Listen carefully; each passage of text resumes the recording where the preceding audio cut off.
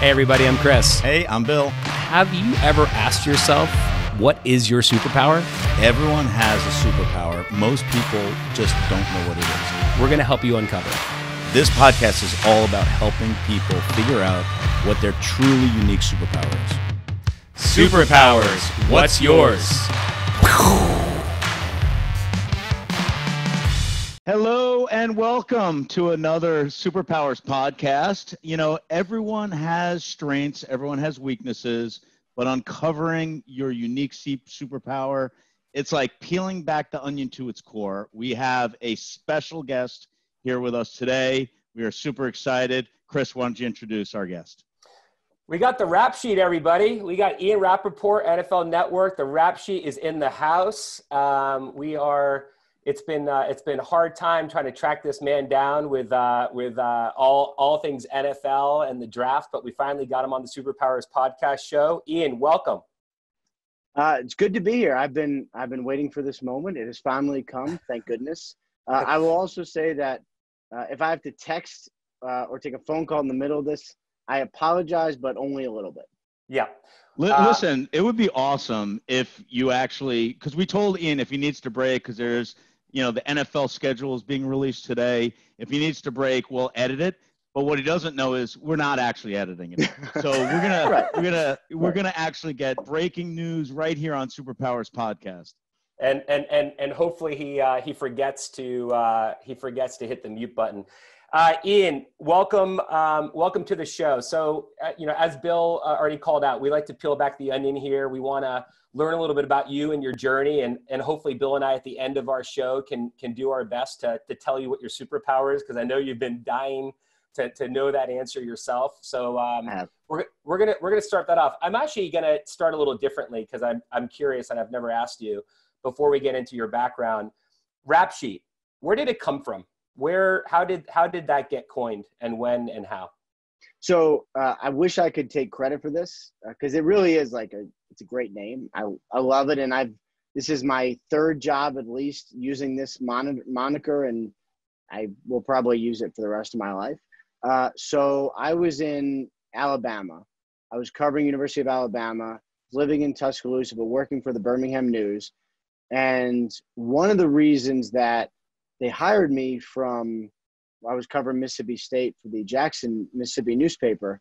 One of the reasons was I started a blog um, covering Mississippi State. And at that point, blogs were very new, and fans seemed to like having timely information with all sorts of different stuff and a little bit of personality, you know, that's different from the newspaper. Now it seems ridiculous and obvious, but then it seemed like a great idea.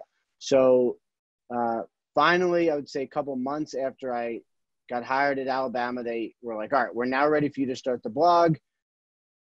What should we call it? I'm like, well, it should be named something clever and interesting and catchy and, you know, about kind of maybe Alabama since that's what I covered. They're like, how about rap sheet since, you know, your name starts with rap? And I'm like, it's actually not bad. And we went back and forth about the actual name because, you know, cover college football enough, you'll eventually cover some arrests and some things that aren't great. And would yeah. that be offensive? You know, uh, right. we decided it'd be okay. So the blog was called Rap Sheet. And when I went to go cover the Patriots for the Boston Herald, um, I took the name with me, and that's kind of where we are.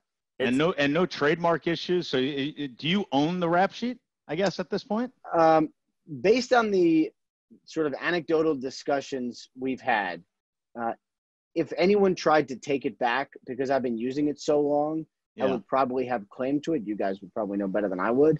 Um, thankfully, there's been really no issues, and I think I'm the most like sort of noteworthy rap sheet out there, aside from criminal rap sheets, I guess. Um, so there's been no battle. Now I haven't Every... started to make haven't started to make like T-shirts or anything, uh, and no one's fought me on that. So if that ever happens, maybe we'll see if there's like a battle coming up. It's it's a it's a fair story. And when you mentioned uh, Boston, um, Bill was cringing. Not that you're from there, Ian, but we've had a lot of our guests on our show in the last uh, year and a half that are from Boston. So, Bill, I want to I want to uh, you're welcome. Ian's not from Boston. Um, you don't have to go into the Patriots small talk, but um, Ian, so where where are you from? Tell us a little bit about where you grew up and your siblings, your parents. Uh, give us a little sense of what what childhood for little Ian looked like. Uh, all right, so I grew up in Chappaqua, New York. Um, you know, about 45 minutes or 50 minutes from the city. Um, I grew up with both parents who actually still live there. Um, my dad's a doctor, mom's an educator. Uh, has her uh, is actually a doctor now. They're both doctors now, actually. Um, and I have a younger brother who uh, works in the city, and I have an older sister who also works in the city. She's a, a school teacher. And, you know, I would say it was like a fairly, for Westchester at least, fairly typical uh, household, a lot of sports, um, yep. a lot of making fun of each other.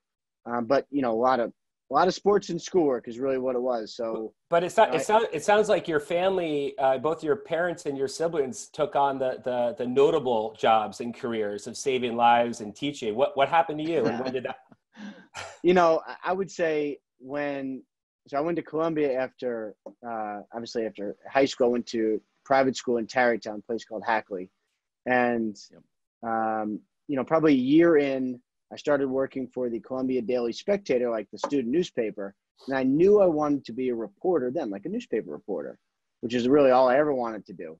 Mm. And my parents, you know, they were fine with it. I think they supported me, but I lived in my in their house for 2 years after college making, you know, working part-time at the Journal News, making $12 an hour and no more for 30 hours a week and no more. Um, I'm not sure they were totally on board then. And yeah. I think the deal was after two years, if I hadn't advanced, then I would probably have to go like think about law school or something like that. Thankfully, like two years on the dot, I ended up getting a job in Mississippi, uh, where I moved to go cover Mississippi State. Where, where, so where you made nine dollars an hour. Where I made, you know how much I made? Thirty three thousand dollars a year. Yeah, and wow. I was so rich. Yeah. well, and the co- well, the cost of living in Mississippi's got to be a fraction of New York. I mean, I think I paid five hundred dollars a month for my apartment, but the apartment was so big, it had two bedrooms, which at the time again was huge. So one bedroom where I slept in, the other bedroom was my office, and so started a long career of working very very far away from where like my home office is. Like then it was in Jackson, but I lived in Starkville. Yep. Um, when I lived in Alabama, I worked in I lived in Tuscaloosa, but the paper was in Birmingham. In Boston, I never went to the office. NFL Network's in LA. I live in New York. So, like, everyone's adjusting to the coronavirus life, um, working from home. And for me, I'm like, where have you guys been? Yeah, Ian, we, this is what we, I do every day. Yeah, we talked about that a while back, not that long ago, a few weeks ago, and this is. Uh, Although it seems like months in the coronavirus world, it, yes, it, it, it, does. In Corona, in Corona world, it's like a it's like a decade one day. Um, but yeah, this is something that you're. We're going to get into that that you're very used to the the home office and the setup. Um, hey, Ian, where do you where do you fall in terms of your? You have a brother and sister. Where do you fall? Uh, I'm the, the middle child. You know what? Oh, everyone's we, middle, Bill. We, Everyone. Every single person yeah. from season two has been a middle child. I, there's got to be something there that we got to research. Um, very interesting. Very interesting. So, so you you go to Columbia. Um, now, you know, Columbia is a pretty damn good school. Um, and you knew you wanted to be a journalist, so you're headed towards a thirty thousand dollars salary, no matter what. Like, like T- bring us through that. Like, did you know you wanted to be a journalist when you know you were in college, or was it something you developed over the course of college? Uh, so I went to college thinking I wanted to be a lawyer.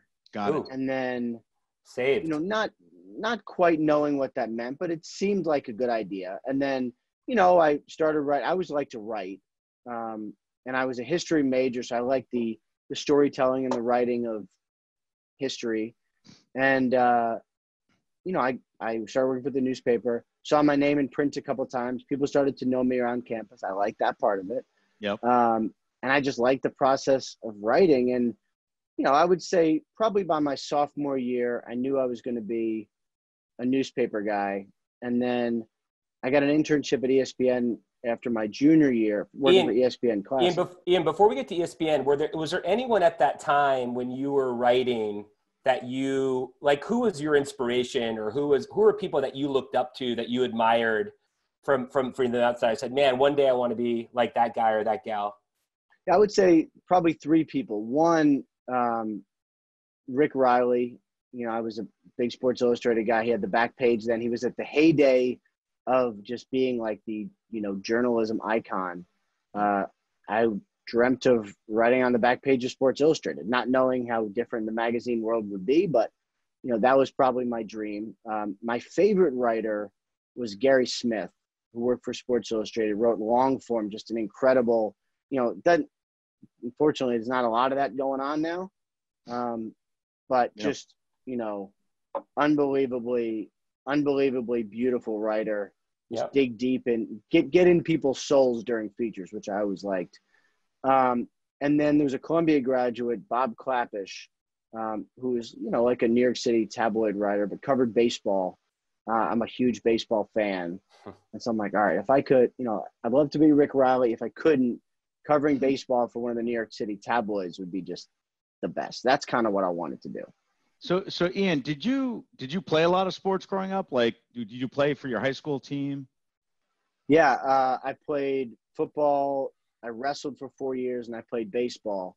Nice. Um, and you know, I would say I was, was pretty good. Um, I played, uh, tried out for the Columbia baseball team, played a semester, and then didn't make it. Ended up as a lightweight rower uh, for four years at Columbia, which was intense and insane. The team was good. I wasn't very good. The team was great, um, but it was just you know two practices a day, 6 a.m. and 4 p.m. Just yeah. complete insanity.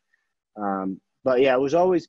I always loved sports, but like I always tell when like journalists ask me, young writers especially, you know, like I want to work in sports, I always say the same thing. You have to like the writing, you have to like the reporting or mm-hmm. whatever it is, making documentaries, filming, whatever. You have to like that more than like sports. Right. Yeah. And, Not and also, like you're gonna sit watching games the whole time. Right. And also probably the output of what a lot of people just see is like, hey, TV and and that's obviously sexy and attractive and and you know you get to meet some great people but the what you're saying is the core the kind of the core of it uh, w- which is the writing the jur- journalism the storytelling you have to fall in love with that. Do you do do you find yourself doing a lot of mentoring and, and coaching with with with with those that are kind of rising up the ranks that want your job? Um yeah it's like you know same same reason tom brady like you know, I mean, he'll he'll help his backups, but mostly like get to watch. Like, you give them bad. Get, you give them bad advice. Don't be taking my job. Um, you know, I, I, I try to. Um, the problem is now is there's a lot of it. Like people are you know yeah. sliding in my DMs on Instagram.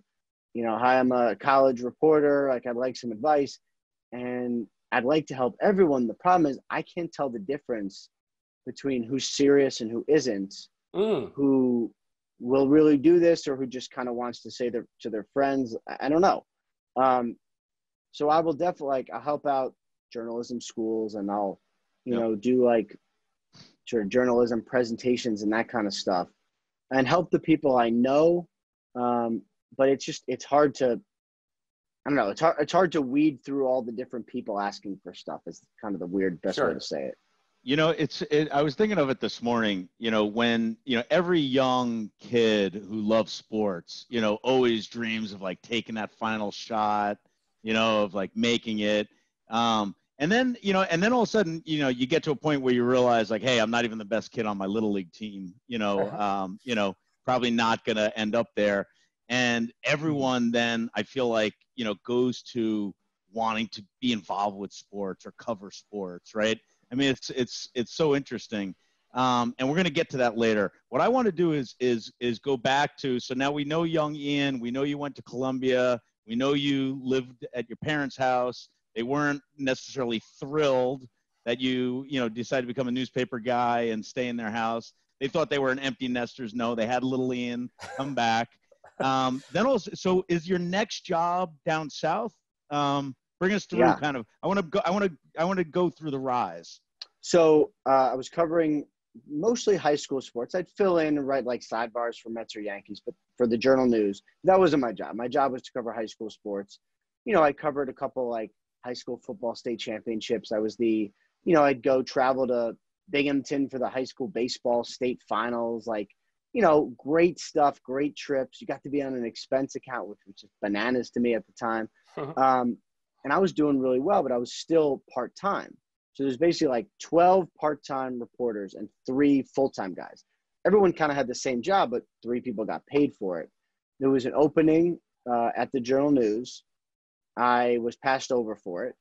I cried like a baby. Um, and when I had a meeting with the sports editor, Mark Leary, who's since passed away, um, and he basically was like, "Here's why you're not getting the job." And my first response was, I was looking at the company website, a Gannett newspaper website. There's a job opening in uh, Jackson, Mississippi, to cover Mississippi State. I, I think I should leave. Would you help? And he was like, Well, actually, you know, I happen to know the sports editor for the Clarion Ledger. He interned for me at USA Today like 20 years ago. If you'd really move to Mississippi, I would happily make a call for you. Mm-hmm. Sure.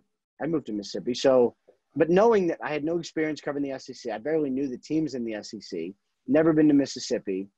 So he called down, I applied. For some reason, they interviewed me, and I will never forget, you know, sitting in the living room of uh, Rusty Hampton, the sports editor of the Clarion Ledger, and he was like, you know, why would you from New York went to Columbia possibly come down to Mississippi to take a job like this? Yeah. And I was like, why would you hire me? Like, I don't have any experience and I don't know anything about the SEC. he's like, well, he's like, there might be something here. So he hired me.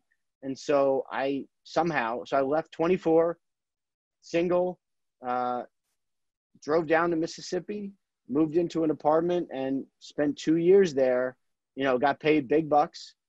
And the coach was Sylvester Croom, was the first. Ian, uh, Ian, Ian, quick question. I went to school in yeah. Carolina. What was your first impression of uh, of the South? Uh, obviously, different parts of the South. I obviously uh, my, I fell in love with sweet tea and grits and the the Southern draw, and I was single then, so I can say that um, you know th- that aspect and the sports culture right. and all that. What did what did you um, what was kind of eye popping for you um, from your first impression of the South and the people there? Um, people were nice you know that was weird to me. Yeah. Um, you know, I was always New York City, and I could be sort of abrupt at times, and you'd be sitting there, and I, you know, I I never had a problem like eating alone, for instance, or sitting alone. I don't really care. I still don't really care.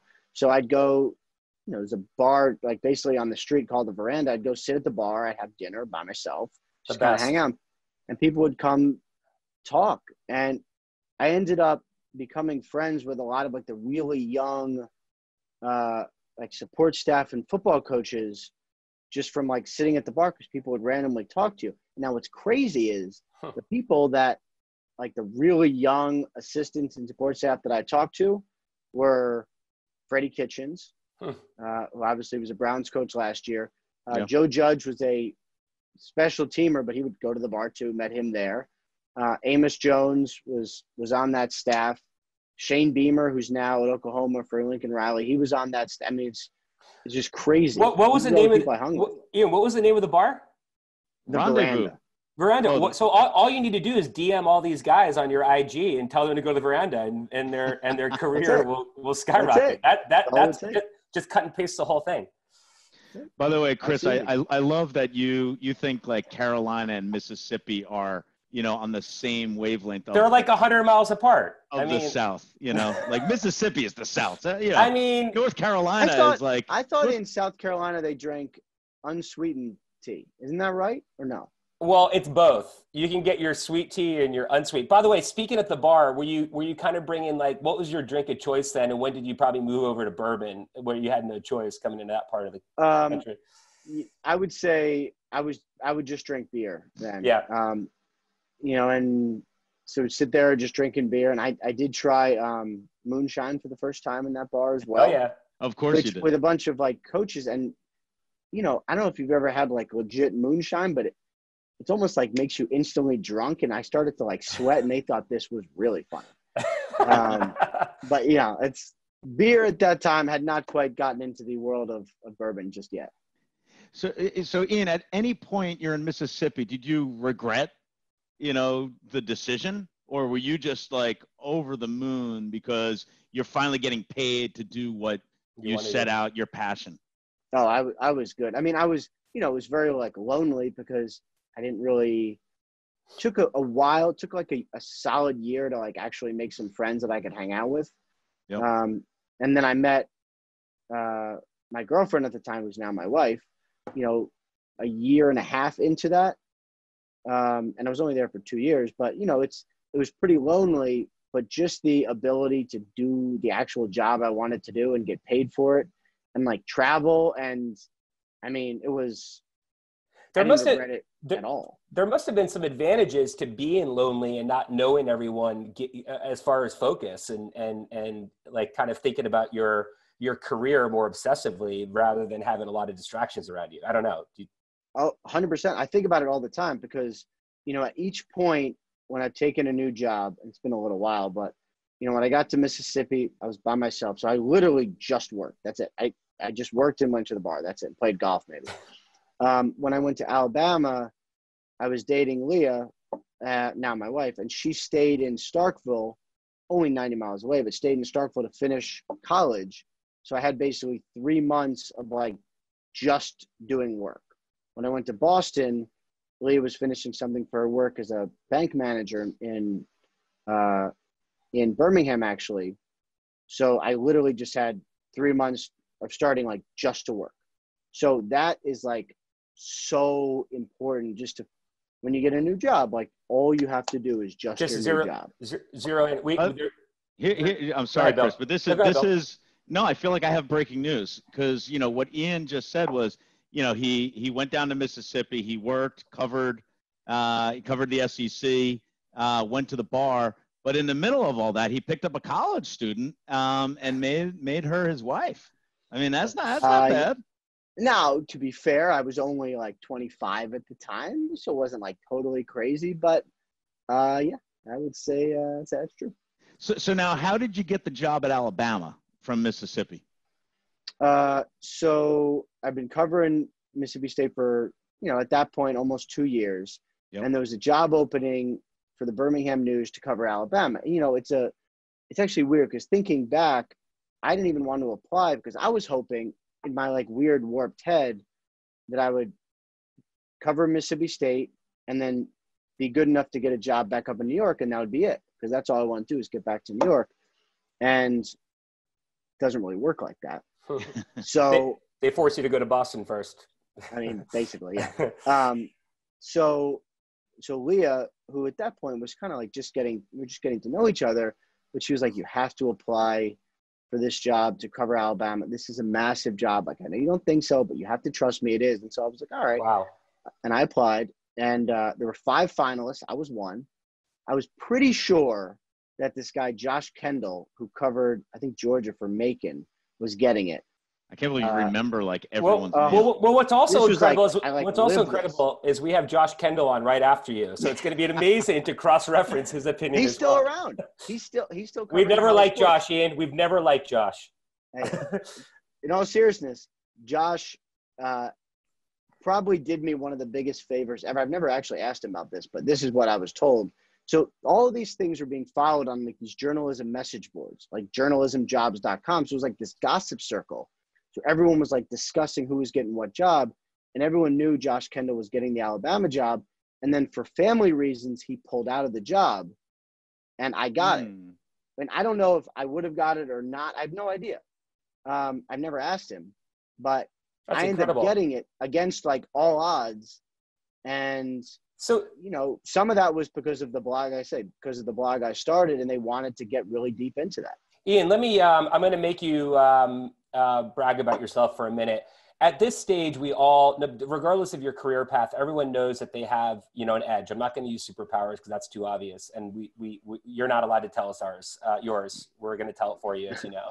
But, but, but jokes aside, what is the edge that you believe that you have in your head? What is it that you're doing differently, or you see differently? that these other four candidates, and not that you know what the other four candidates, but I think you understand what I'm asking. Like, what is your approach to to your your path of of, of coverage? That's a good question. I mean, I would I would think a couple things that just kind of come to mind. One is I work a lot and I like it. And whenever I talk to young reporters, I'm always like, if you like your job, don't be shy about it. Just tell people. People like to hire people who like to work. Why? Because Yeah. you're going to be sitting in an office with them, and if they're in a good mood, it makes you in a good mood as well. I've always liked to work. I like reporting.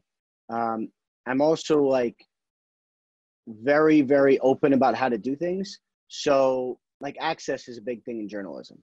And I never cared whether I would get access or not. Like, are the locker rooms open or not? Are the players media friendly or not? Because if they weren't, I would just find another way. And I think that's one thing that's really helped. So, you know, diving into like, what's a blog? Oh, I don't know, but let me start one and see how I Hmm. can give people a ton of information. What's Twitter? I don't know. Like, let me just Okay. start it and that will help. Like, all these, I started doing videos at Alabama because I don't know why not. People seem to like like all these different ways to get at reporting. I was always really open to, and I was also young, um, so you know I didn't have a lot going on, and I could just work a ton. By, by the way, Ian, sorry, Bill, one comment. I just pulled up your uh, your Twitter, uh, and for those, uh, not that you need any more followers, um, at Rap Sheet. So you joined September 2008, and that's early. That's uh, that's that's that's that's 12 years, right? September Um, 2008. So that would be Yeah, after my second year, I believe, covering Alabama. yeah, Yeah. But you know, it's it's interesting because even if there were people with more experience who are much older, they probably didn't invest in creating a blog. Uh, why would they? They had massive viewership elsewhere, right? They've been writing for years and years. So it's interesting that maybe you know, uh, you know, you got a job uh, at an early age because you were kind of leaning forward and adopting technology so that was an so kind of being young then was an advantage, whereas now you got to have scale, you got to have followers, you got to you know it's much harder, I would say now. Um, but maybe you benefited by that, you know, back Yeah. then. I thought about that, and I was, you know, I'm not young anymore. I mean, I wear makeup so people think I'm young, but I'm not young anymore. Um, but I was always, you know, at when I was covering Mississippi, youngest, covering Alabama. I mean, it was basically me at 26, and everyone else was like 40 or 50 because this was a, you know, covering Alabama is a job that you could have for the rest of your life. It's a great job. Um, and I was just always same thing with covering the Patriots for the Herald. Like I was always, you know, So- one of so the you- youngest. So so you get you get down, so you get you get the job at Alabama. Um, like, does Nick Saban just like open the door for you? Do you like what do you how do you you know how do you create those relationships? Do you go to the bar? Do you find the you know the, the, the next, veranda. The next veranda? Um, uh, Innisfree would be the uh, would be the Tuscaloosa bar. Um, it was very different at Alabama. So when I got there, it was a good job. You know, covering Alabama for the Birmingham News was a good job. Uh, you know, they were okay. Uh, I covered a Independence Bowl my first year. They were fine, but still good job at traditional power. And then Mike Shula gets fired, and they bring on Nick Saban after a 38 day coaching search, which was like the biggest nightmare I've ever been a part of. Um, oh, so so Saban was not there when you That when he was came not out. there. Yeah. Very interesting. so all of a sudden, everyone's reading everything I'm writing. And he and I battled very aggressively my first our first year together because you know there was discipline stuff and there was who was getting kicked off the team and recruiting and you know everyone was looking for everything to kind of pick at him so teams were turning him in for recruiting violations and stuff and and I covered all of it and I sat in the front row I always asked the first questions about it and you know every time I and I called him Nick instead of coach which on the message boards was a very big deal so we battled for like a year second year by the way, why- why did- why did you- understanding Why didn't? you? Because that's like What's a that? not a Southern thing to do. Why would you call him Nick and not Coach? Uh because it's his name you know, so he people, probably thought, people man, lost their minds this fucking New Yorker comes down south and doesn't give me the respect. no he didn't care it was just the fans that's what's crazy he hated me for other reasons I'm Oh, sure. Right. Okay. Um, and you're cool. Wait, you're cool with us calling you Ian, right? No. Uh, yeah. It is funny. What I get a kick out of is when people in sports do this a lot. They'll call someone coach who's not a coach. Like when Tom Coughlin's with the Jaguars, everyone called him coach, and I'm like, he hasn't coached for like ten years. What are we doing here? Whatever. Um, Ian, we're going to get back to makeup too. I want to because we have a we have a, uh, some ground to cover. So how uh, let's let's let's transition up to Boston. Um, By, by the way, let me. Let, I'm sorry, Chris, but let, the- the interesting part about this, and and at every point in someone's career, even the most successful people, being at the right place at the right time, having a little bit of luck, never hurted any, never hurt anyone. I, I kind of feel like if Nick Saban was there and Alabama was the the you know the Alabama program under Saban, that you, there wouldn't have been five applicants for that job. There'd be 50 applicants for that job. Right So- time, right place. Yeah. I mean, now, yeah, there were there were a lot more than five applicants, just 55 finalists, but Okay, got it. um, but but but still, though, you're right. I mean, I think about this all the time. It was a good job at the time, but to cover, you know, getting one of those jobs now, for instance, as they've established like this national prominence, um, it's impossible. Everybody would want it. You know, then I just I don't know. Uh, and then you're right, like getting the job when it was kind of like a sleeping giant, and then Yep. being there when it exploded, that Yep. helped me. And then you, you I you asked about the Boston thing. Basically, the way that happened was they posted a job, Boston Herald did, and they hadn't hired anyone from outside Boston in 20 years. Hmm. Um, they posted a job. You needed NFL experience, which obviously I didn't have any. Um, and I wrote them this long letter detailing how I covered Nick Saban, you know, with limited access, Yep. and how I would use that experience to cover Bill Belichick and the Patriots, also limited access. Hmm. Uh, and I sent it away and literally thought nothing of it. And then they called me and were like, "We'd like to interview." Um, so they flew me from Baton Rouge, where I was covering a uh, college basketball game, to Boston, and then back home and interviewed. And then four months later, I somehow got the job. Did you want did you want to did you want to leave or were you exploring? Meaning when you got the job, you're like, oh shit, Leah, we gotta we're leaving. Like was it something that was it time to go? Um, No, I would say when we were in Alabama, it was awesome because we had we had a great group of friends. You know, we we had like a really good situation, really good setup. I was in a good place with Saban, with coverage. I was breaking a lot of stories. Um, I was in a really good spot, and you know, the only reason I would leave would be for something very big. Yeah. Or if I Right. could, you know, get back to the East Coast for like a major job, and then it was this time came up and I applied and I literally thought there was zero chance that you I would get job. it and then somehow they hired me and I was like and I'm you know, we had and then so like when the, the Birmingham News was going back and forth about like you know we would offer you more money I was like don't it's like I have to take it just don't What's uh, any any any good stories for Bill, uh, Bill and I and our audience uh, from your time uh, down in the South? Um, whether it was with the players or coaches, something that you haven't shared with anybody, could have been just like a the you know the wrong moment, an embarrassing moment, something something that you uh, that you laugh about now, or cringe about. Uh, all right, I'll give you I'll give you two good ones. One from, and I don't know, I don't know if you guys will find this funny, but everybody else thought this was funny, uh, in the South at least. So I was interviewing this guy David Stewart, who ended up playing played for Mississippi State. His nickname was Country because he was very country, very country. He ended up playing right tackle for the uh, Titans for a long time, um, and he hated interviews, hated them.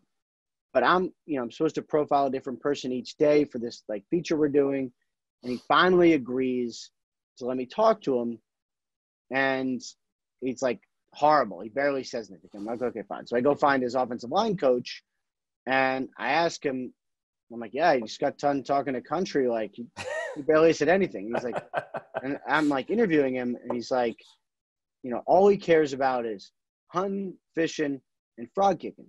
I'm like, okay. So I think that's a funny line. So I write in the paper, hunting, fishing, and frog kicking.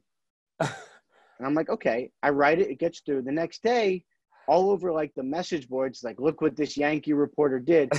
Because it's actually frog gigging, which is you stand in the river and you try to like stab frogs with a little staff and you get them. But I'd never heard of that, so I thought it was frog kicking, where you, I guess you just kick frogs. Anyway, my my Yankee inexperience there. It's Um, it's it's it's it's funny. Trust me, it's funny. Still, still, the fact that it got through the copy desk is still ridiculous. All right, then the other one was, um, So I'm at SEC Media Days in 20, 2009, and I had accepted the job to cover the Patriots. Uh, and I'm not really, I mean, I'm kind of working, but like I'm not really working.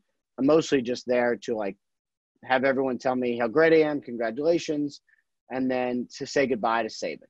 So, Hmm. you know, I pull him aside. I'm like, I'm like, hey, I want to talk to you. He's like, I heard you're leaving. You know, I guess congratulations. You know, and he said some other like kind of funny stuff. And I'm like, hey, look, you know, I know you and Belichick are close. Um, if you wouldn't mind, if you could kind of like put in a good word, just tell him, you know, that I'm whatever you want, you know, that I'm fair, I'm a decent guy. Like, That I'm I that I'm a think- fraud kicker. yeah, basically. uh, I think I think that would really help.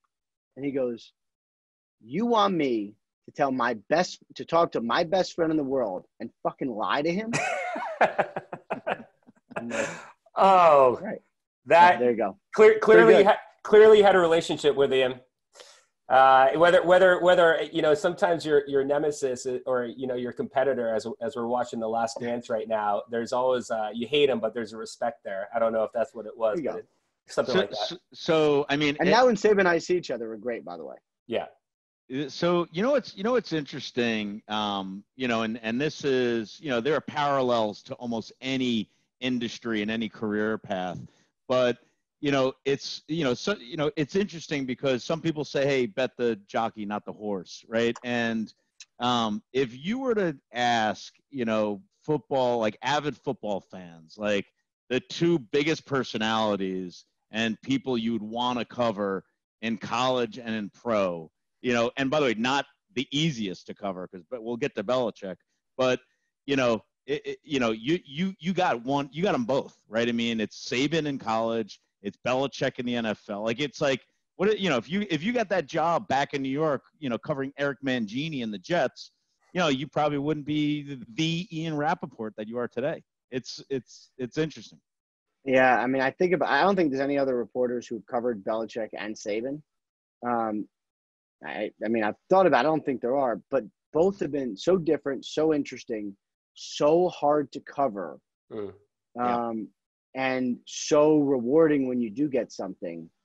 So that's why, like, whenever, you know, like, whenever there's a hard subject or hard thing to get at, I'm kind of like, okay, like I've seen all this before, Right. You know, like it doesn't get any harder than trying to get information out of, you know, Alabama when Saban's in charge. You know. So, so, so same thing. You know, how do you break through to Belichick, right? I mean, covering him, you know, I, I gotta believe four out of five days you're just banging your head against the against the wall because he, he sometimes he just gives you nothing. Yeah, and and I never really minded that. Uh, now, first of all, you know, there would always. I think we came to me and Bill kind of came to an understanding pretty early that like there was always questions out, and he's been there before, so it's not like I'm setting the flag on anything. But um, there's always questions I'm gonna ask. He gets it. He'll either answer or he doesn't. And I never like went nuts trying to be like, why won't you tell me about this injury? You kind of ask hmm say whatever, yes or no, or something, or nothing, and then you kind of move on. So I always do my job, he'd do his job. Um, but I think for him, you know, there were there were a couple things um, that I think kind of helped me break through a little bit. Um, one was I was never shy about asking. So, you know, I was always like, I'd be like the guy at the bar who like talks to, you know, 20 different girls and doesn't care if he get turned down, right? Um, I would request a lot of things. So we request one-on-ones with him for a bunch of different things. And sometimes he would say yes. So you go into a little room, you pull him aside for five minutes, you ask him about something sensitive or that maybe he you that you didn't want to discuss in front of other people. And he always got that because he knew that he was giving you something that others didn't have. So in those settings, he'd really be great. And I just don't think a lot of people asked because it's like you're never going to get a one-on-one with Belichick or whatever. So we did that, and then the other thing was, um, you know, I went to a couple of his charity events, and I was thinking I'd go and talk to him, but you know, in the end, you, you know, you kind of sit, you watch him interact. He's doing good charity stuff, um, but then I, I, you know, I asked to talk to him at the end of it, and he kind of like blew me off. It's like, I'll get you another time, and I was like, okay, but then I never really wrote about it, and I think he appreciated me not publicizing the charity stuff. And he at one point called me and gave me an exclusive because he had said like I'll get you another time, and I was like, that's kind of interesting, you know. And you, like you, you, saw you saw a pattern with dealing with him. I I, I would think too, Ian, that the, your time with Alabama and Saban, um, he probably would have respected the fact that you you you were there. You, you obviously worked, you know, covered his his his friend. Um, uh, did he ever ask you any questions as it relates to the the the team or your time there or anything like that? Do you think that was pretty much one on one with with Saban? Any it, like did, did was the conversation always around the Patriots and the team and personnel, or did it ever expand beyond that? Um, sometimes he would he would kind of ask about like you know how they did this or that at Alabama. The problem with Belichick is he knows everything. So yeah. like whenever first of all he can get to anyone. Anytime Belichick calls, whoever it is, you're answering. Right. So he so he always knew everything. And the other thing is Saban learned from him for a lot of it. So it's not like he needed to ask questions a lot. Um, but it would come up from time to time. I mean, he would, you know, Belichick would always bring it up sometimes as a way to make fun of me. Yeah, yeah, it's funny. I, um, I, I and I imagine you probably had uh, when you when you hear Patriots players talk about him, he he seems to have a pretty uh, interesting and, and weird sense of humor. I'm not sure if you saw you saw that side. Did you enjoy? He's very uh, funny. Did you enjoy uh, living in the Boston area? And where did you live? Loved it. Still, yeah. I mean, I, I, like where we live now, but um, we lived in Southie, and um, Southie. We lived it was just just the greatest, and it was you know it was not like obviously like old time South. He was kind of in the middle of the transition now to getting a lot younger and probably more expensive. Yeah. Um, we lived on uh, K and Eighth down the street from L Street Tavern, which is still my favorite bar in the whole world. Um, as you know, publicized by Good Will Hunting, but really just a great bar. Yep. And you know, a place now we we still when we visit Boston now, we still go by that bar and still see some people we know. Still wow. bartenders are the same. Um, we i mean could not have loved boston more and i was i was good living there for a long time like i didn't i didn't seek to leave boston like i was i was set I, we were fine for a while and you keep saying we and i know obviously this is leah but so she's she's up there with you. You're you guys are you're, you're on this journey together. And I, I like that how bill asked that question not only on the rise from the personal side but also as, as we're with it on the personal uh, uh, with your relationship. So you're obviously you're you're doing this together. Uh, you're growing together. She's she's in is she is leah working in boston and she's got her, her yeah. career going?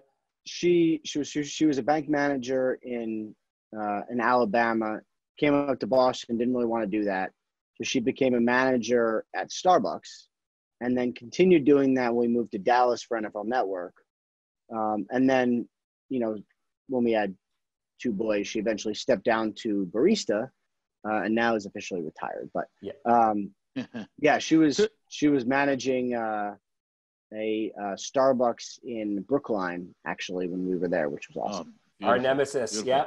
Hey, did you ever? So, what did you call Belichick? Did you call him coach, or you call him Bill? Bill.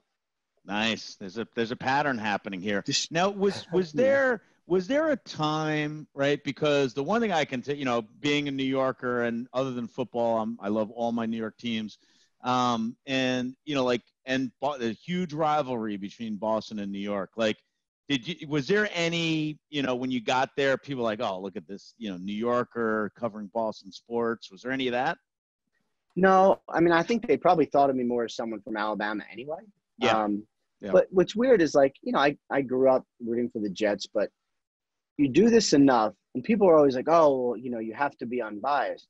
It doesn't really work like that. You just like become unbiased. Like you don't. I got now, I'm not like, oh, I can't root for this team. You just don't. It's just yeah. your, my brain is wired differently. So like, I don't watch a game and root. I'm interested in what happens, and yeah. I like if the people I like, you know, won some games or didn't get fired. But it just it works so different. Like I can't even remember having feelings when the Jets won. I'm still a Mets fan. That's what I root for. Yeah. Like it's so you're so divorced from like emotionally being invested in a win or a loss that I can't even fathom so what that was like. You're too close to it. It makes sense that you're uh, you're still you would root for your uh, your baseball team though. Go ahead, Bill. Yeah. Uh, well, you know, with the Mets, there's not much to root for. But anyway, um, that is true. So, uh, was there was there like a something you really uncovered and broke um, with you know in Boston that re- you know that got your name at the national level? You know, or was it or was um, it like just a series of things? It's a good question. Um, it's funny because like I can't remember. I remember all the things I got beat on. Um, I Mhm. I can't remember specifically like really big stuff I broke, although I'm sure I did. Um, I think what it was a lot was, you know, I had I had a blog which I literally blogged ten times a day, like literally ten times a day. And on my off days, I would, you know, set the automatic blog function and I would write things so it would it never stopped. So it was basically just like I was like a nonstop fountain of Patriots information, um, and I had a lot of you know exclusives with players. I was really good at getting guys in the locker room who didn't talk to a lot of people. Um, you know, I got Belichick a bunch. You know, I, like let's say like Randy Moss one time on um, you know it was like June second or something, whatever. Um, I get a call from this guy who's like, uh, "Hey Ian, uh, it's Donnie Blue." I'm like, "Hey," he goes, "Do you have time to speak to Randy Moss?" And I'm like, "I mean, yeah, I, I do. I yeah, I have time to speak to Randy Moss." And I just put ribs on the smoker, and so you know, you put ribs on the smoker, and you got. I was using a, a gas smoker at the time, so I had hmm. you know probably seven hours. I'm like, yeah, I got time. So you got, all right, Randy's gonna call you. Like, okay. So then Randy Moss calls me, gives me this big exclusive about like a million things, uh, which ended up being like a two day, you know, Herald front page. No one else got him. Um, and so I wrote, I interviewed him, transcribed, put up a blog post, took the ribs out, sauced them, wrapped them in foil, put them back, another blog post, wrote the story, sent it in, ate dinner. Did you? cl- Yeah, you but that, that that was I would say that was a very high profile one. We're, you were obviously eating and cleaning your hands in between this. So one one thing I just realized as you're telling this story, the speed of which you have to um, you, you have to kind of execute from when you hear a story and, and I've, I've kind of you know wit, witnessed to, to seeing you kind of do, do your do your art it must i mean i'm just kind of thinking about how your brain is wired in all these years of sort of writing the ability to kind of hear information dissect it and then very quickly package it so somebody on the other end can unpack it right like i imagine a lot of this art and skill had come from because you mentioned writing consistently through your Mhm. which i did not know uh, through this through this conversation but can you talk a little bit about that that that science of hearing something and how you like what you write and how you write it Yeah, I mean it's it's a really weird world. So like I will, you know, I'm going out going about my daily day and making phone calls and you're hearing things and you know whatever. Um, but one of the weirdest things about my world is everything could be normal and then I'll get a phone call or I'll hear something and everything changes. And I have had to train myself to be like, okay, stop. Like this is a thing. Don't do anything else. Figure this thing out. I had an example, you know, two weeks ago or whenever that was. So I'm making my pre-draft phone calls, and you know I'm calling a million people from like 7 a.m. to 10 p.m. just on the phone all day long, hearing a million things. I take my notes. I some I report, some I don't. Like just you know a million things. And someone says to me, "You're on this Gronk thing, right?" I'm like, "What do you mean?" You know the Gronk thing. I'm like, "What Gronk thing?" You know he's yeah, he's probably going to go to the Bucs. Hold on, what are you talking about? And first, like, yeah, I can't really say much more, but you know, you probably should make some phone calls. So then it was like, okay, stop. Don't do anything else. Don't answer the phone. Do anything else. Figure this out. So I went from zero to breaking the uh, Gronk story that he was going to the Bucs Tampa. in about six minutes.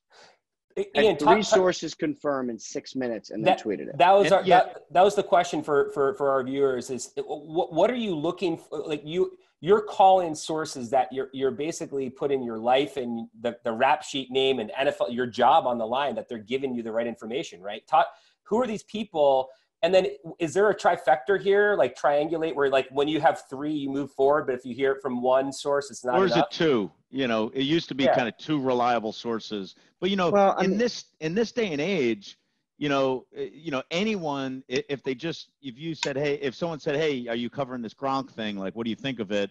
You know, oh, you you can just get on Twitter and be like, hey, uh, sources say, you know, so yeah, how do you how do you triangulate that? You know, do you, do you have to have at least two sources, or is it a judgment call? Well, I would say, you know, hopefully you have two sources, but there's other times when you have just one source and it's the person, right? Yeah. So, Yeah. like, let's say my source is a player and he's like, just tore my ACL, pretty good source. Yeah. You know, if it's the agent saying, I just got off the phone with my player, he tore his ACL, pretty good source, right? If it's, hey, this deal's getting done, okay, well, let's say I get it from an agent, usually that's good, but like you just never know. Yeah. So then I would check with someone from a different side, team side, be like, all right, hey, I'm going to report this, just kind of running this by you, good to go. And, I'd like, and then Ian, how, how do you how do you manage being first versus your friend, you know, Adam uh, at ESPN or anyone else, right? Like, how do you how do you think about this is a developing story versus this is the story, and also that kind of credible credibility piece, which leads me to my other question: is Have you ever broken something incorrectly? Yeah. Uh, so mainly it's like in my so in my head I got a lot of stuff, right? Uh, and there are some things where you have and you put it out right away. A player signing, okay, put it out right away. Get the money later, but really just we want to break the signing. And then there's other stuff like, all right, I hear this person's name is up for trade discussions. Okay, then it's like I wouldn't really report that. I just I don't know. That's not it's news, but it's not that exciting. I'd like to break the bigger story, which is he got traded here. Hmm. So like Yeah. when DeForest Buckner got traded to the uh, the Colts, I knew about that for a month and a half, and I sat on it. I kept it quiet. I worked Hmm. it from multiple sides. Hmm. Ended up breaking it with the terms and him having a new contract because I held it for a month and a half and didn't say anything to anyone. So there's just different choices of like, you know, how you put things out and like, you know, I was pretty confident that no one else had that and I was going to put it out. So like that you kind of save. Yeah. Um, and then to answer your other question, the biggest story I ever broke um, was Alabama agreeing to terms with Rich Rodriguez. And it's true. They his agent agreed to terms with Alabama. My sources were involved in the deal. I knew the years, I knew the terms. He had staff approval. The deal was done. And I broke it. Huge story. Scrolling on the bottom of SportsCenter. And then he changed his mind the next day after he met with his team and he got a huge raise at West Virginia. Yeah. And I was like villain number one. Yeah. I've never been through any death threats. Like I've never been through anything like that in my life. Wow. Everyone telling me my story was wrong. My sports editor went on Paul Finebaum to support me and basically say the story is right. Like it turned out to be wrong, Yeah. but the story was right. Wow. Uh, and That's that was, crazy. you know, that That's was crazy. pretty ugly, but it was also It can true, and happen. Sometimes the reporting actually changes what the news ends up being. Right. Yeah. Hey, Ian, was there ever a time that you're, you know, uh, you know, you know, on an intimate dinner with your wife, or like you have a one of your kid, one of your boys' birthday, um, and like you know something breaks, and like you, your job, you know, d- d- does everyone that you surround yourself with personally just understand at any given time you have to go and drop things and go do stuff? Bill, or- Bill, let's get Leah in for this part. Uh, Ian, could you?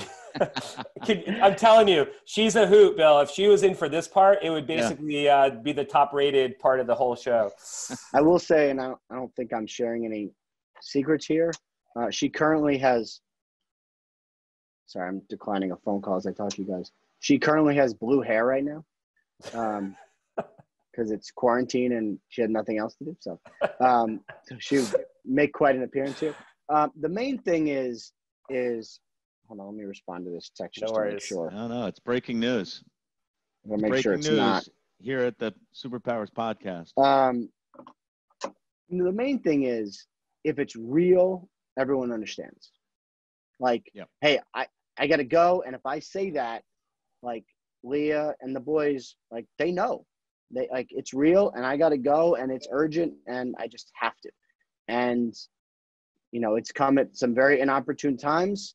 Um, now, a lot of times, like, um, you know, a lot of times I will, I can step away, I can confirm something, I can tweet it, and maybe do like a phone interview if I'm out, and then be done and come back in like eight or nine minutes. You know, because TV segments aren't that long. Yeah. Whereas if I was a newspaper reporter, like go write a story, it's a little different. You know. So, so Ian, you just teed this up. Um, t- t- uh, t- share the story of um, of uh, I think one of your sons. I don't know if it was Jude or Max. Uh, per- perhaps joining your your show um, without without your uh, I don't know if you've seen Yeah. this bill, but it's it's it's kind of Oh, yeah. the main one was the CNN guy a couple years ago, but you got to tell this one. Yeah, this was a good one. So um, we were we had worked on Dez Bryant signing somewhere forever, literally Yeah. forever. Yeah. Um, and finally, we break it that he's signing with the Saints. Massive story at this point. Like he was, you know, this was big news. So it's like we break it. Okay, need Ian, need you on TV. Ran downstairs, put my makeup on, put my stuff on, jump in front of the camera. All right. Jude was homesick from school that day, so I'm in the basement now. He's right outside the door watching like a movie or something, lying down on the couch, like barely moving, sick. So Leah's sitting with him and she says, Jude, stay here. I'm going to go make you lunch. Don't go in daddy's office. And I just got a lock for the office that day, so we're fine. So then I'm literally on TV talking about Dez Bryant, and all you see, all you see is this. And I'm like, the remote. I'm like, Jude. He goes, and it's just literally the remote. And so, and I'm like, because he, to him, an emergency was he couldn't figure out how to pause it. So, and it, at that point, I my we're literally like I'm talking on the air, and I have two options. I could like kick him, which I really wasn't really gonna do, or I could just suck it up. I pulled him, put him on my lap, and I continued talking. And I was I was ready to go. Everyone else lost their minds, so they were like cracking up like crazy. But I literally sat there talking with him on my lap, and he sees himself in the monitor because I have a return monitor. He's Yeah. like making faces at himself, and he thinks this is the funniest thing. um, but I was like, now if I just locked the door like I'm supposed to do, it probably would have been okay. But That's hysterical. It, it comes it comes it comes with the territory, and I've seen some of your uh, your former uh, well not your former your current colleagues. I think they really enjoy uh, the the banter is very real amongst you guys, uh, Yeah. and and the teasing and the camaraderie. It's good. So, Ian, how long are you covering? Uh, how, how long are you in New England? Um, you know, covering Boston sports, and then how did you get the NFL job? so I'm there for for th- for three years. And Okay. again, like I'm fine. Like I'm happy here. I started to do a little TV. You know, you make like 200, 300 bucks a night just doing a couple TV stuff, like which is a lot of money. It was great. And then I'm at the Super Bowl, uh, the second Patriots Giants, and I get a call from this guy who had kind of like, you know, arranged for me to do like a guest spot here or there for NFL Network. They had beat writers on at the time, just doing some stuff. So he's like, "Hey, would you mind meeting with a couple bosses?" And I'm like, "Mm, "Okay." Like, you know, he sends me where it's I go into this like conference room. I'm wearing like jeans and a sweater or something. Sit down um, at a table with these three bosses, and they're kind of like firing questions at me, and it goes on for an hour, and you know, they're like, "All right, well, we've talked, you know, journalism questions and all these different things," and they're like, "All right, well, do you have any questions for us?" And I'm like, yeah, what am I doing here? I'm like, oh, uh, well, we're thinking about hiring, you know, we're going to hire another TV reporter. You're one of the guys we're considering. I'm like, oh, well, I don't know anything about TV. And they said, that's okay, we'll teach you. And by the way, would you move to Dallas? and I was like, actually, like I'd gone down the road with the Dallas Morning News to cover the Cowboys the year before. They ended up not opening up the job, but like I was pretty sure I was going to get it. Like they took us house hunting, me and Leah. Wow. So, like Leah took the trip with me um, I was pretty sure I was going to get it, and they just never opened it up. I was like, actually, we almost moved to Dallas last year. So, like, yeah, for the right job, sure. So I left the meeting. I called Leah, and I'm like, you're never going to believe this, but I think something's happening, and like, I, I don't know, like, I, I, I something, I, I think we might have to move. She said, calm down. Like they probably interview a lot of people. And they did. But I could tell like something was up. And so they called me a month later. They offered me a job. And it's like, okay, moved to Dallas. Was there for three years, but a year in. Hey, Ian. Ian, Um, one I've quick one, one quick question about Sure. your interview process. Most people, I guess, this is I would do this is when when somebody asks you or says you don't, uh, or you say uh, rather than saying you don't have any TV experience, you know, there's more of this like, hey, I can do anything, I'll take it. You have this very honest, like, dude. It's the second time I've heard this. Like, I'm not the right guy for the job. Like, what's wrong with you? Like, w- w- you're not winging it. Fake it till you make it. I mean, what's up? Nah, nah. It's just I'd just rather be up front right off the bat, you know. Right. Uh, also, it's true, and they're gonna figure it out. Right. So I was like, yeah. I mean, I you know, I mean, there's been a bunch of jobs where I was hired, thinking like, wow, I cannot believe they're actually hiring me. Um, you know, and this was definitely one of them. Oh, like, it seems like every job, every job you started, like, I can't believe they're hiring me. You know? That's true though, but that's that's pretty real. I mean, it's you know like when I went to cover the Patriots, like I didn't know anything about covering an NFL team, literally nothing. Went to NFL Network, knew nothing about uh, TV working. I knew how to report, but I didn't know how to work in TV at all. I mean, it's just you know, So when you- crash so course each way. So when you first get to NFL, you're you're in Dallas. What what's the what's the first job? Do you go right on air? Did they send you to media training? Like, what do you, what do you do? I went to LA for like three or four days of like training, just like how to hold a microphone and stuff like that. You know, but I was so far away from being like knowing how to do it. But then they kind of send you out and you, you know, I mean, I was basically our Dallas bureau reporter. It's kind of like Ed Werder did for years, but Mhm. for NFL Network. Um, and so you sent they sent me to a bunch of different places to kind of get to figure it out, and I was really bad at the beginning.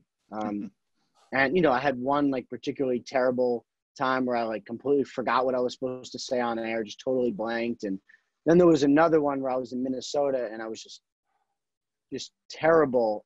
And you know, when you're bad TV, it looks like you're reading. Yeah. It looks like you're trying to like trying to read on a teleprompter. It looks terrible. And that's what I looked like. Um, and I remember thinking I was going to get fired. Um, and Did you did you have a kind of a rec- recovery plan or path, or do they help you with that when you're in that sort of moment of like this isn't working? Um, I remember talking to my boss, and I was like, basically, like, I'm not getting any better. Like, I'm terrible, and it's obvious. You know, they stopped having me go live.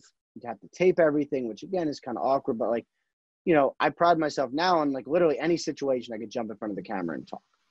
You know, but then it wasn't like that. So I was like, well, I need to practice. I'm like, if you really want to practice, you can go to the Cowboys facility. And we have NFL Network has cameras in all the facilities which we own, but you know, use you see the backdrop behind everything. So they're like, there's a producer who's always in there during the overnight shift. He's doing nothing. You can just do fake hits to him and kind of work on stuff. Mm-hmm. So I did that a bunch, spent an hour for like three or four times and just figured it out. And so the next, the next thing I did was training camp in Charlotte, like to start the next season. And I got a call from one of my bosses that was like, I don't know what you did over the summer, but like that actually sounded decent. So the, like, okay. the, the, the, the practice the practice paid off. And on, on the on the question around makeup, how long did it take to get comfortable with it? And do you carry makeup in your back pocket in your car? Do you have bags of makeup all over the house? your Um, makeup, Leah's makeup. Whose makeup is it? I have my makeup bag right here, little brown bag or a Oh, little black nice. Yep. Um, I use MAC and I use Sephora. I have a MAC Pro card, um, so they know me when I go in. You know, uh, I've never been. I never minded makeup. I never really care. Uh, it actually helps. So I put it on myself. I'm pretty good at it. Yep. Uh, Some training for that.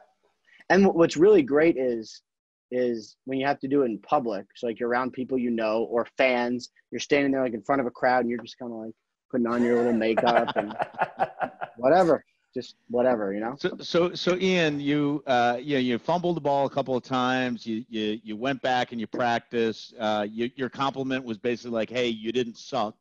Um, on the training camp. When did you start becoming natural?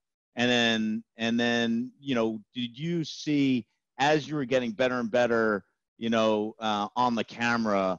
You know, did did you just see your career and your brand just take off? Like, bring us through Um, kind of that that cycle. Yeah, so I did a year, basically a year covering the Cowboys, a season, and that season I was I was fine. I was good. I, I got I would script everything at the beginning, and then I got better when I would just kind of keep bullet points in my head just to talk about. Because like everything else, I mean, you guys have given presentations, like just talk. You know, Yeah. like don't write it. Just people have done it a million times.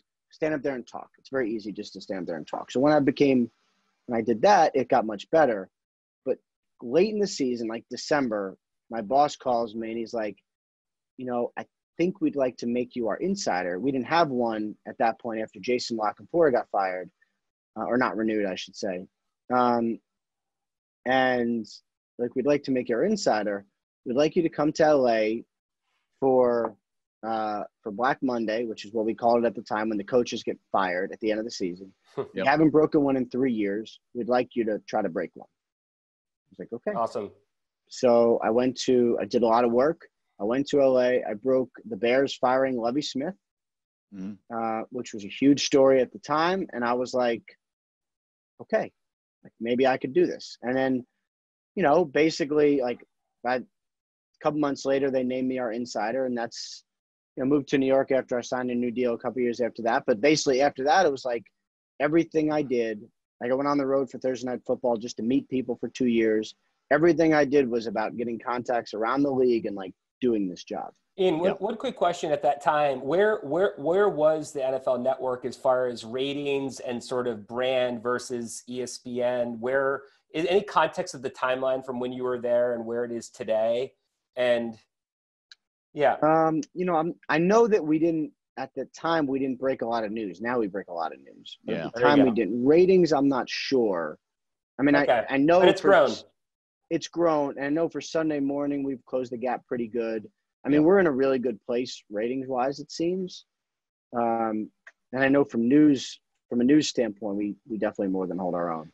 Now, when you became the insider, did you have to move to LA or did you stay in Dallas?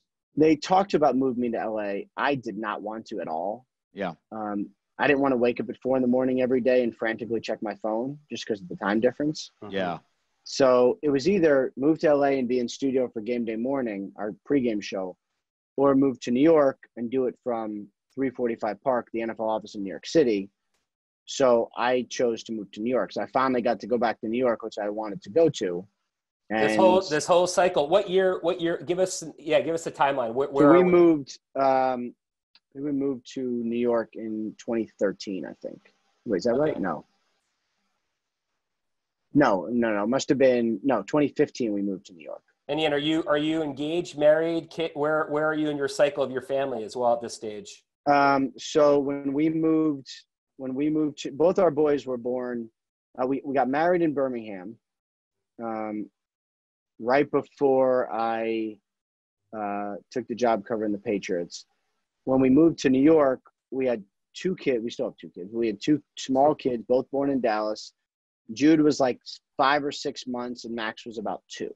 hmm So that was like four and a half years ago, basically. Right. Okay. Wow. Okay. So now, yeah, now we're going to get kind of caught up in real time. Couple, you know, uh, kind of final questions, but before we uh, before we uh, we wrap um, Mm. uh, wrap the show, you like that? Um, so um, now you're you've cut you've come back to New York. Where where and how did when did you actually move out of the city out of the city into where you live now and and and sort of this this setup and talk to us a little bit about what you got going behind you. Yeah, well, we um, you know, we we moved to basically the suburbs like right off the bat. We just lived in a rental house and now a permanent house. But the the thought was always, you know, move to Westchester and drive into the city every Sunday for game day morning. And you know, they put a studio in my house, which you know everyone's always like, oh, it's so great, and it is great, believe me. But it also means you can be on air at literally any moment. Yeah. So my life Yeah, is just yeah. different because, you know, I could be like in a swimming pool or something. It's like, hey, can you get on air? So, um, but still, I can. You know, they put the studio behind me. It's awesome. We're on air like you know ten times a day from here, and it's kind of been like that for the last five years. Right. Um, and um, and and I know Ian, we were uh, we were in the last couple of weeks. I wanted to get any uh, any insights of shifting gears on the on on on our shared experience and love for the Kentucky Derby. Um, it's we, we we miss it this year. Back next year, maybe. No. Uh, I mean, we we're set to go in September. Hopefully, it's on with fans. We'll see.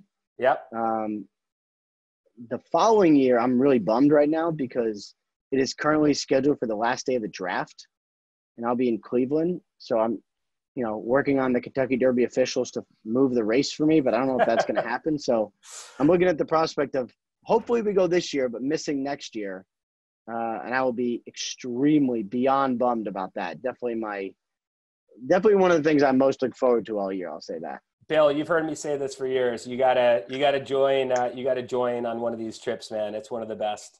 You know, I, I acquired a company um, in Louisville, and uh, and after we acquired the business, um, you know, around April, I get a note from one of the senior guys there, and they say, "Hey, what do you want to do with the tickets?" And I go, "Tickets for what?" And he goes, "Oh, um, you know, the company has long-standing tickets to the Kentucky Derby um, every year. Um, you know, all the practice rounds and you know pre ones, and then the actual Derby." Um, the problem is it it my my daughter's birthday is Cinco de Mayo, and it always falls like on her Ah. birthday weekend. So I've been I've owned this company for like ten years, and I've never been able to go. So How old's your Actually- daughter? uh, well now she so actually her birthday was was two days ago, uh, and she just turned fifteen. Okay, probably a decent age to go to the Kentucky Derby. It- It's- yeah. Well, now it's moved, so now maybe I can actually go. That's right. Yeah, there you No. go. So now it's it's this is Maybe the I'll silver linings. Um, so listen, this has been this has been incredible, right? Um, you know, just kind of getting to know your history, your path. Um, you know, I think we can all agree your your wife seems to be your superpower because she, you know, told you to take jobs and you know followed you wherever you went and you know put your career first. Um, and I think we can probably say that about almost everyone's every successful person you know has a support system behind them but we're not gonna we're not gonna let it off that easy. Um, chris would you like me to start off and then you Bill, let's, let, let, let, let's stay consistent, my man. Get, give us, uh, let Ian, Ian hear it and I'll, I'll give, uh, I'll give my uh, take as well. so so just and and so ian i kind of just think out loud you know throw some things out there and then i give chris time to actually come up with something intelligent um, so um, so listen i i think you know in this day and age you know where you have access to millions of people either through twitter or social media or now tiktok you know um, you know see people think it's so easy to kind of create a following um, and the reality of it is it's not right? And so you know it's not like ian you know has millions of followers you know just you know just because he works at the nfl it's like you have you have practiced this craft over a long period of time right? So success just doesn't happen and people may say hey ian's an overnight success and almost everyone who gets characterized as an overnight success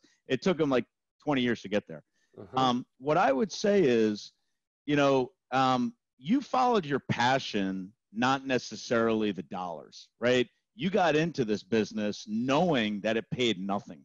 Um, and, you know, there was no Twitter back then, there was no kind of breaking news back then. Even cable, you know, wasn't even as strong as it is today. Um, you know, so you got into this business because it was a passion. Um, and what I would say is, you know, sports. I, you know, going into this, I thought, hey, you just were this like kid who loved sports and you know, love it. Sports wasn't the sports was the secondary passion. The primary passion was actually uh, publishing and reporting, right, and writing, and you know, and and you practiced your craft. You got really lucky in that you practiced your craft with the best of the best, right? The best follow, college football coach, followed by the best professional NFL coach. Um, but I think it's actually that kind of like, you know, just passion around, you know, that craft, um, you know, which, you know, it's, it's all about time and place. And I said it before, you know, bet on the jockey, not the horse. Um, you know, and, you know, you also benefited by the fact that technology advancements um, has, you know, ri- risen to the point where you have a studio in your basement you can break stuff you know you know you can be on tv in a minute's notice. Um, you can break stuff on social media.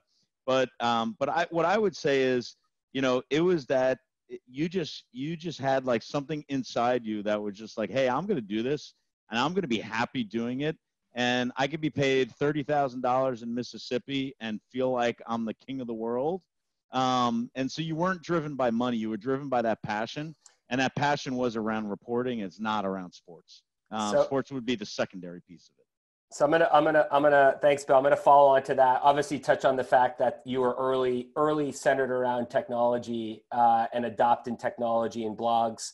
I a lot of things I picked up, Ian, on this conversation. High level of EQ, IQ, social awareness, social intelligence. I think um, your interactions with coaches, your the charity experience with Bill Belichick, knowing kind of when to say what and how to say it. Um, so I think that's that's definitely a layer of the superpower conversation. But I'm going to kind of try to. It's always really hard to synthesize um, what, what it is. I, am going to go with a. Um, I, I love Bill's summary. I'm also going to add a high degree of pattern recognition. Yes. I think I think if I had to really try to distill, and again, there's a lot of them, so don't get don't don't be offended if if you're if you don't love it. But I think pattern recognition, all the data, all the inputs, all the experiences, conversations, locker room all those different things your your superpower is your ability to see uh, take advantage of pattern recognition and as a result of that tell good stories. The, the other thing i picked up the other thing i, the other thing I picked up is you, you have this uncanny ability to remember every single person's name like you recalled from you know 20 years ago someone who you were interviewing against like you know uh, I I cannot remember names. It's like my worst thing. So I, I like I like you know I like the EQ part of this, like the pattern recognition and EQ, but also following that passion. Um, and I tell I tell young people all the time, like your goal is not to like figure out, hey, how can I make the most money? How can I do? It? It's to find your passion in life. And if you find your passion, you're truly passionate about it riches will come. Maybe and the riches may come monetarily or it could be you know come in that you just you know you are at peace with life and you love life and you love what you do. Um, but it seems like you have a 360 view there where you have not you know you have that eq um, you're in the right place at the right time but you followed your passion and then you have people that support your passion um, in Leah, who now I can't wait to have on the podcast. So, so Ian, we, we, we, we built we built you up. You're going to feel really good about yourself as we let you uh, go on your day. I do want to add one final thing before we let you go, and thank you. Um, outside of the professional side, the I think talking about the father side and being a great dad and a great husband, I've had a, a little, you know, some time to be able to experience that. Um, I think that's a, a huge component of the family of life. So I want to compliment you on that, and obviously well, the, the, great work you're doing. And we're gonna we're gonna stop. Um, we're gonna let you respond to text messages and and get back to, like, to breaking news. Ian, thank you for all the time you gave us and, and joining the Superpowers podcast, man. Awesome. It was a blast. It was it was everything I hoped it would be, and thank you for the the synthesis of my superpowers. This has been great, guys. Thanks so much. Awesome. Thanks, Thank you, Ian. Superpowers.